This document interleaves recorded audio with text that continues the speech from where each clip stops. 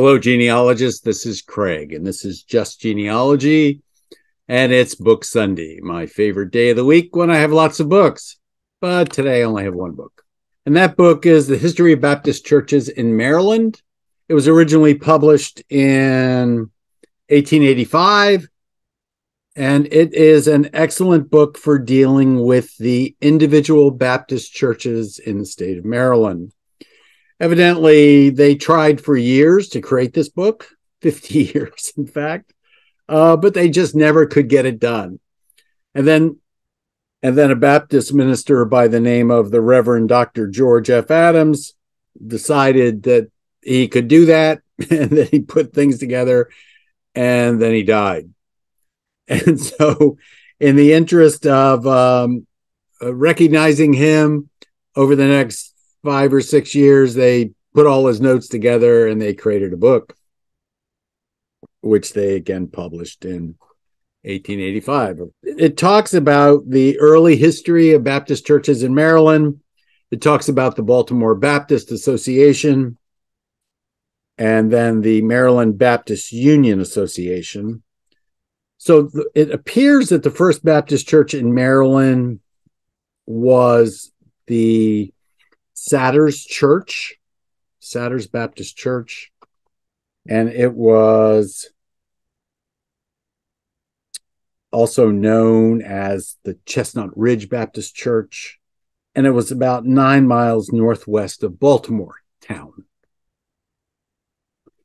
And it belonged to the General Baptist as distinguished from the particular Baptist, or more properly, the Calvinistic Baptists, and one of the issues with the Baptist church is not really an issue, but from a perspective of theology, there are probably about, uh, I think the government identified in 1915 in their religious bodies track that there were about 60 different kinds of Baptists. I'm only really familiar with two kinds, and that would be the missionary and or the non-missionary or the schooler or the non-schoolers. Those that uh, the missionary believed that you had to have outreach the non-schoolers believe that you should just keep to yourself kind of thing that's about as succinctly as i can put it. But th- that's neither here nor there in regards to this book because uh, these appeared to be the the maryland baptist union association appears to be a missionary church a missionary association i don't know who the non-schoolers were in maryland but that's something for the future. I may try to locate that census report. They would do one every 10 years for a while and, and see what I can do to talk about it. It's downloadable from the Census Bureau, so it's readily available, but it's kind of a neat tool, at least from a comparative theology perspective. Um, I always like to know what my ancestors believed uh, because m- much of what they believe may lead you to other information about them if you understand their belief systems. Back to this book. So after Sater's Baptist Church, there's the First Baptist Church of, of Baltimore, where they discuss, and then they go, which is 1785. And from there, they go on to discuss various churches in the Maryland Baptist Union Association.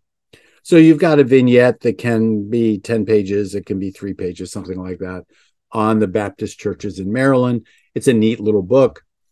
And I uh, am glad that we are able to bring it into print. It looks like, based on the back of the book, that the First Baptist Church in Maryland, which is the Chestnut Ridge, was actually founded in 1709. But I think what happens is, is it joins the association later on and the Maryland Baptist Union Association gets established in 1836. So what you have is you have Baptist churches before the establishment of the Maryland Baptist Union Association that are in this book. There was, in fact, before that, the Baltimore Baptist Association. It's an interesting read and there are an abundance of names and there are lists of things like church officers sunday school teachers pastors etc and in this book uh, there are 56 church histories in chronological order of their organization the easiest thing to do is to just use the table of contents because the table of contents lists each church by year of organization. And let's see, and an appendix contains several biographical sketches of leaders in the Maryland Baptist community. And there are engravings of church founders and of churches. So, history of Baptist churches in Maryland, connected with the Maryland Baptist Union Association. Book, The History of Middle Tennessee Baptists. And we evidently reprinted it a second time before we ran out of the first printing. And it's much like the book that I've just talked about. There are church sketches, there are sketches of individuals, there are biographies, for example, of deceased ministers.